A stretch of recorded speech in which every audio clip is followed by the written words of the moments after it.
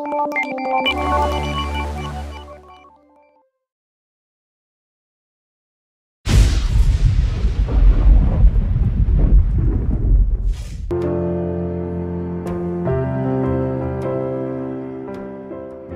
بر زندگی جف بزوس ثروتمندترین شخصیت دنیا. جف بزوس بنیانگذار و مدیرعامل سایت خورده فروشی آمازون موفق شد با کنار زدن بیل گیتس مدیرعامل مایکروسافت لقب ثروتمندترین فرد جهان رو به خودش اختصاص بده. جکی مادر جف در نوجوانی با مایک بزوس مهاجری از کوبا ازدواج کرده بود. ولی جف حاصل این ازدواج نبود بلکه جکی اون رو از همسر اولش به دنیا آورده بود. در ادامه مایک قبول کرد که جف رو به عنوان فرزند خونده خودش بپذیره. البته اون تا سن ده سالگی به جف نگفت که فرزند ژنتیکیش نیست. وقتی جف چهار سال داشت مادرش بهش گفت پدر واقعیش که به عنوان بازیگر سیرک فعالیت می‌کرد کاملا از زندگی اونها جدا شده. حتی وقتی برادستون خبرنگار تو یک مصاحبه با پدر بزوس صحبت می‌کرد او به هیچ وجه نمی‌دونست که جف بزوس معروف پسرشه. بزوس از ابتدای کودکی هم نبوغ خودش رو نشون داد وقتی تازه شروع به راه رفتن کرده بود با یک پیچ گوشتی گهواره خودش رو باز و تیکه تیکه کرد چون مدام به این مسئله معترض بود که چرا نباید توی یک تخت واقعی بخوابه. از سن چهار تا 16 سالگی جف تابستونهای خودش رو تو مزرعه پدر بزرگش در تگزاس سپری می کرد و خودش رو با تعمیر آسیابهای بادی سرگرم می کرد. پرستون گایز پدر بزرگ اون یکی از افراد الهام بخشش بود. اون تو مصاحبه گفته بود که گایز به اون جمله مهمی را یاد داده بود. مهربون بودن از باهوش بودن سخت تره. بزوس عاشق نسخه اولیه فیلم Star Trek شد و البته بعدها به نسخه های بعدی این فیلم هم علاقه مند شد. اون بعدها بخشی از سایت آمازون به اسم makeitso.com رو از روی یکی از گفته های شخصیت کاپیتان ژان لوک پیکارد انتخاب کرد. جف در مدرسه روزی به یکی از معلمان خودش گفته بود آینده بشریت محدود به این سیاره یعنی زمین نیست.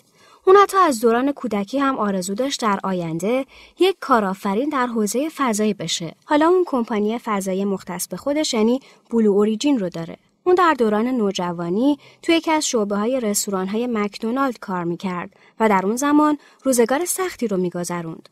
بعد از ترک مکدونالد مؤسسه ای رو به منظور برگزاری کمپ های ده روزه برای کودکان تأسیس کرد. توی این مؤسسه اون به ازای هر کودک 600 دلار دریافت می‌کرد و هر تور برای 6 دانش آموز برگزار می‌شد. در نهایت جف به دانشگاه پرینستون رفت و مدرک مهندسی خودش رو در رشته علوم کامپیوتر دریافت کرد. بعد از فارغ تحصیلی اون پیشنهاد کار در اینتل و آزمایشگاه بل رو قبول نکرد چون به استارتاپ فیتل پیوست. بعد از خروج از فیتل بزوس جوون با کمک هلسی مینور استارتاپی رو تأسیس کرد که از طریق دستگاه فکس خبرها رو برای علاقمندان ارسال می کرد. بعدها هم هلسی مینور سایت معتبر CNET رو تأسیس کرد. بعد از اون جف به شرکت مدیریت سرمایه گذاری دی ای شاو ملحق شد و فقط بعد از چهار سال به سمت معاون ارشد مدیرعامل این کمپانی منصوب شد.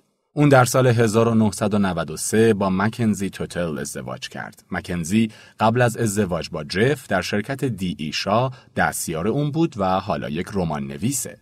تو سال 1994 بزوس متوجه شد که وب تنها در یک سال به میزان 2300 درصد رشد کرده.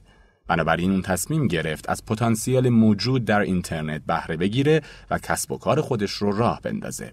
به این منظور لیستی از 20 محصولی که می‌تونستن به خوبی در اینترنت به فروش برند تهیه کرد و در نهایت به این نتیجه رسید که از بین همه اونها کتاب بهترین گزینه است. اون در نهایت دی ایشا رو با وجود موقعیت شغلی عالی ترک کرد. مدیر اون دیوید شا تلاش زیادی کرد تا جف رو در شرکت نگه داره ولی دیگه دیر شده بود چون جف تصمیم قاطع خودش رو گرفته بود که شرکت خودش رو تأسیس کنه. بزوس معتقد بود به جای دست روی دست گذاشتن بهتر استارتاپ خودش رو تأسیس کنه حتی اگه در اون شکست بخوره. در نهایت آمازون متولد شد. جف به همراه همسرش حتی اونقدر از نظر مالی تحت فشار بودن که مجبور شدن برای قرض گرفتن خودرو نزد پدر جف به تگزاس برن و مجددا به سیاتل برگردن. تو مسیر بازگشت جف اونقدر در فکر استارتاپ جدید خودش بود که حتی متوجه رد شدن از دره های زیبای گرند کنیون هم نشد و تماشای اونها را از دست داد. بزوس فعالیت آمازون دات کام را از یک گاراژ شروع کرد و بسیاری از قرار ملاقات های خودش رو در کتاب فروشی همسایش بارز نوبل برگزار می کرد. توی ابتدای تأسیس کسب و کار جدید هر زمان که فردی سفارش کتابی را از طریق سایت آمازون.com ثبت می کرد یک زنگ در دفتر کار به صدا در می اومد و همه به تکاپو می تا کار مشتری رو راه بندازن. در نهایت چند هفته بعد تعداد پخش صداهای زنگ ها به حدی بالا رفت که تصمیم گرفتند اون رو قطع کنند. آمازون در 15 ماه می سال 1997 مصادف با 25 اردیبهشت سال 76 در دسترس همگان قرار گرفت و توی همون ماه اول راه اندازی به 50 ایالت آمریکا و همچنین 45 کشور دیگه کتابهای خریداری شده رو ارسال کرد. وقتی که حباب دات کام ترکید، تحلیلگران اسم بمب آمازون رو روی این شرکت گذاشتن چون تصور می‌کردند که کمپانی جف وزوس هم به زودی ورشکست میشه. ولی در نهایت این شرکت از معدود کمپانی های بزرگی بود که از بحران مذکور جون سالم به در برد. در حال حاضر آمازون علاوه بر کتاب کسب و کار خودش رو به موارد دیگه از جمله لوازم خانگی، پوشاک و هر چیز دیگه‌ای که تصور کنید گسترش داده. حالا این شرکت حتی خدمات محاسبات ابری هم به مشتریان خودش ارائه میده. بزوس یک مدیر پرمسئولیته و گفته میشه هر لحظه ممکنه بر سر کارمندان خودش فریاد بزنه. بر اساس شنیده ها اون یک راهنما رو به منظور آموزش کنترل خشم خودش استخدام کرده. جف بزوس استفاده از اسلایدهای پاورپوینت در ارائه ها در شرکتش رو ممنوع کرده در عوض اون پیشنهاد نوشتن توضیحات مهم هر ارائه در حد اکثر 6 صفحه رو مطرح کرده. اون همچنین به صرفه جویی در شرکتش معروفه و برخلاف خیلی از شرکت های دیگه مزایایی مثل ماساژ و غذای رایگان رو برای کارمندانش در نظر نمی‌گیره. تو سال 1998 این مدیر موفق سرمایه گذاری 250 هزار دلاری در گوگل انجام داد که ارزش اون در سال 2004 که گوگل در دسترس عموم قرار گرفت بالغ بر 3.3 دهم میلیون دلار بود. این مقدار حالا دو دو میلیارد دلار ارزش داره. البته هیچ کس نمی‌دونه که در حال حاضر اون این سهام رو در اختیار داره یا نه. بزوس اخیرا 42 میلیون دلار در بخشی از زمینی که در تگزاس در اختیار داره روی پروژه The Clock of the Long Now سرمایه گذاری کرده. تو این پروژه قرار ساعتی ساخته بشه که در زیر زمین جاسازی میشه و می‌تونه برای ده هزار سال بدون هیچ مشکلی کار کنه. تو 6 اگست سال 2013 مصادف با 15 مرداد 1392 بزوس روزنامه واشنگتن پست رو به مبلغ 250 میلیون دلار خریداری کرد. بلو ریجین شرکت فضایی بزوس سال گذشته میلادی با ارسال اولین راکت با قابلیت استفاده مجدد به فضا اسم خودش رو به عنوان اولین شرکت فضایی خصوصی در این زمینه ثبت کرد و اتفاقی تاریخی رو رقم زد.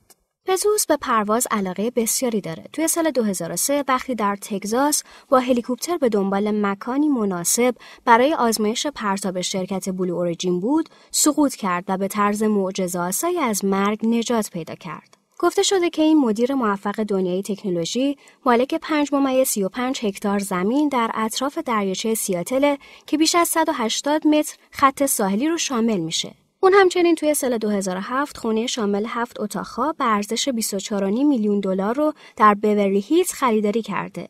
این امارت شامل زمین تنیس، استخر و خونه محسوس مهمانه. تام کروز بازیگر هالیوود هم در همسایگی بزوس زندگی می‌کنه. توی سال 2017 این کارآفرین یک موزه نساجی واقع در واشنگتن رو به قیمت 23 میلیون دلار خریداری کرد. جف مالک سه آپارتمان متصل به هم در برج سنتری نیویورک که در مجموع مساحتی برابر با 929 متر مربع داره.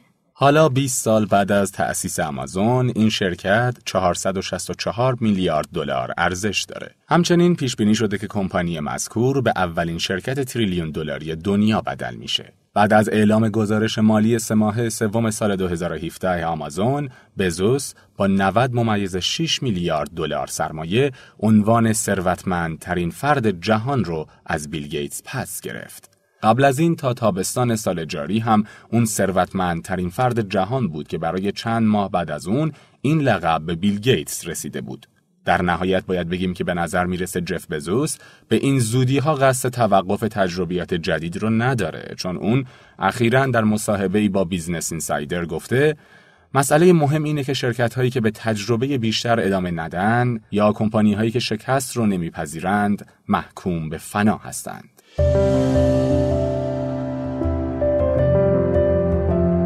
از اینکه تا انتها ما رو یاری کردید.